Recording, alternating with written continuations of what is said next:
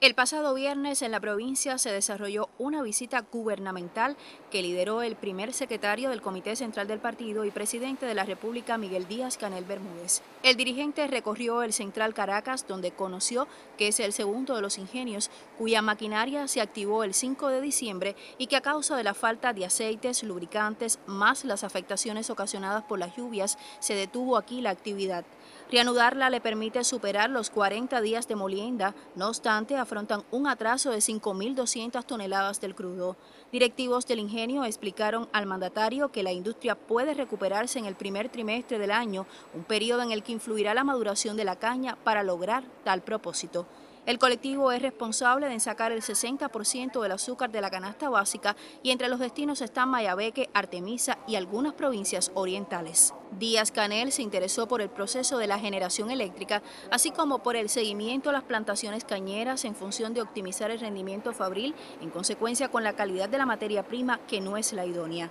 En otro momento de su periplo, el presidente de la República llegó a la finca La Caraña, donde se desarrolla una producción cooperada entre la empresa porcina de Cienfuegos y el sector agrícola para cosechar alimento animal. Componentes básicos de la nutrición en la cría de cerdos son la yuca, el sorgo y maíz, cuya siembra se potencia en estas áreas aledañas al canal magistral Paso Bonito Cruces.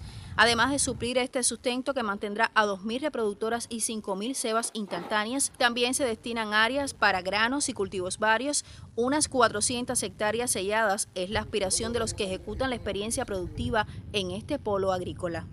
En reciente visita de la estructura auxiliar del Comité Central del Partido a Cruces informaron los resultados y las deficiencias en las que debe trabajar el municipio para revertirlas.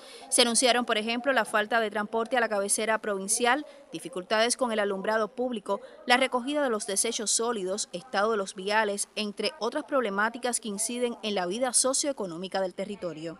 Hoy hemos ido a un lugar aquí, bueno, La Caraña, donde han desbrozado todo lo que había ahí de maleza, pero son hectáreas y hectáreas, desbrozan y siembran. Compañeros, hay una cantidad de comida sembrada ahí, pero además hay una loma que está llena de yuca, así que un paisaje lindísimo.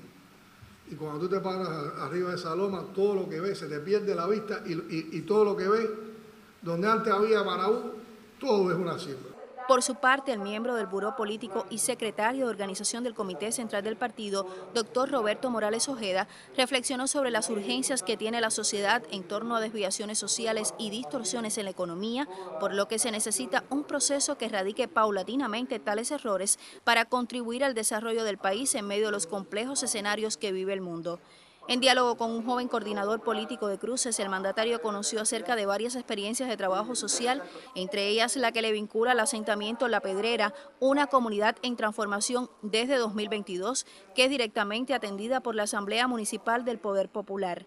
En el asentamiento donde residen 305 pobladores se impulsan proyectos constructivos que actualmente evidencian un cambio de la demarcación. Porque cada vez que vamos a un territorio, una provincia, a un municipio. La propia visita que hemos hecho hoy aquí en Cruce, que ojalá hubiéramos tenido más tiempo para, para visitar más, más lugares, nos demuestra que en todos los lugares hay buenas experiencias.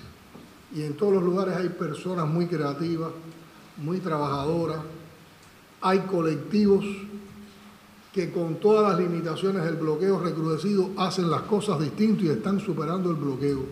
Y esas personas inspiran y lo que ahora a nosotros nos toca en el menor tiempo posible es cómo convertimos todas esas experiencias, que hoy son excepciones, en reglas de inmediato.